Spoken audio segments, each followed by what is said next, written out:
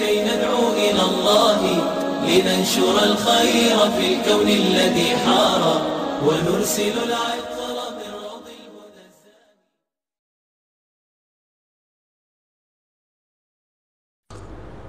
یہ زندگی امتحان ہے اور یہ دنیا ایگزامنیشن ہال ہے، یہ آئیڈیل ہوم نہیں، یہاں آئیڈیل لائف نہیں۔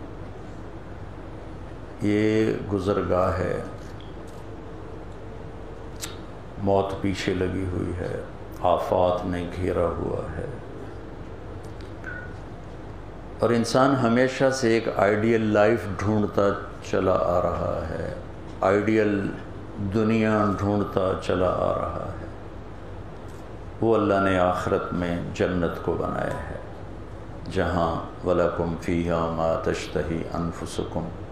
وَلَكُمْ فِيهَا مَا تَدَّعُونَ۔ جو چاہو گے مل جائے گا، جو تمنا کرو گے پوری ہوگی۔ یہ مالدار لوگ بیٹھے ہیں، یہ ہم سے زیادہ پریشان۔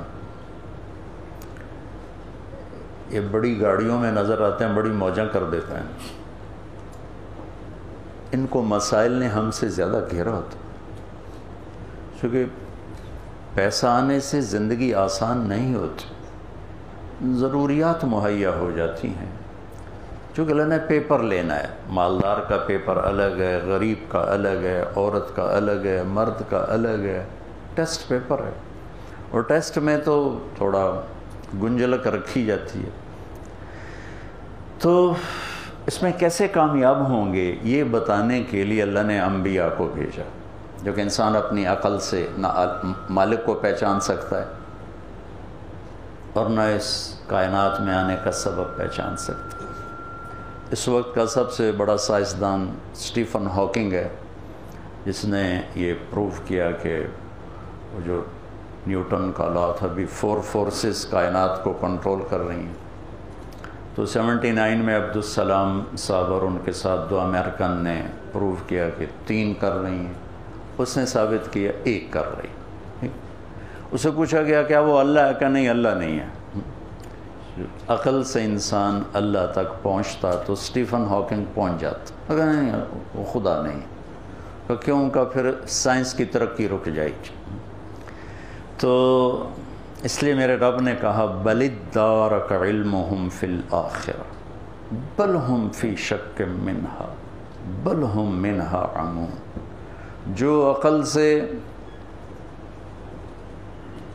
متاثر ہو کر چلے گا، وہ گھمن گھیریوں میں ہی پھرتا رہے گا۔ وہ اللہ تک پہنچ نہیں سکتا۔ اللہ تک پہنچنے کے لیے انبیاء کا وسیلہ ضروری پھر ہمارے نبی وہ ہیں جنہوں نے تو اللہ کو جا کے دیکھ ہی لیا۔ تو یہ تو بڑی اسپیشل چیز ہے کہ براہ راست اللہ سے بات فرمائی، پردے اٹھائے گئے۔ ثم دنا فتدلى فكان قاب قوسين او ادنى تو میرے نبی نے فرمایا کہ ترکتکم على محجة بيضاء ليلها كنهارها لا يزيغ عنها هالك یہ کوئی نبی بات کر کے نہیں گیا جاتے ہوئے. آپ نے فرمایا، میں جاتے ہوئے تو میں ایسے روشن راستے پہ چھوڑ کے جا رہا ہوں.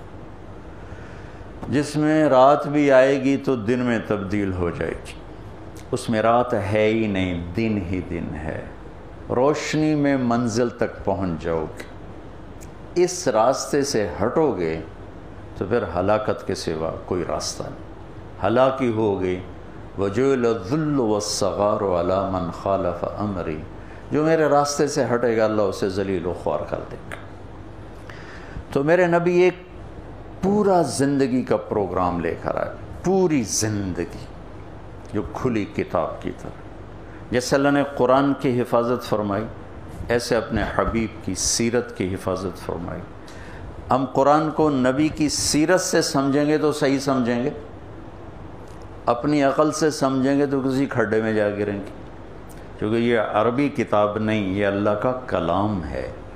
اور کلام کا کھولنے والا اللہ نے پہلے اتارا، کلام بعد میں اتارا۔ تو آپ نے آخر میں یہ فرمایا کہ ہر شے کھول کھول کے تمہیں بتا چکا ہوں۔ ہٹو گے، ہلاک ہو جاؤ گے۔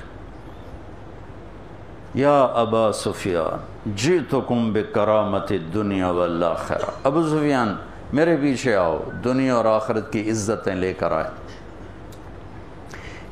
یہ میرے بھائی بہنوں دین قرآن پر آ کر مکمل ہوا میرے نبی پر آ کر مکمل ہوا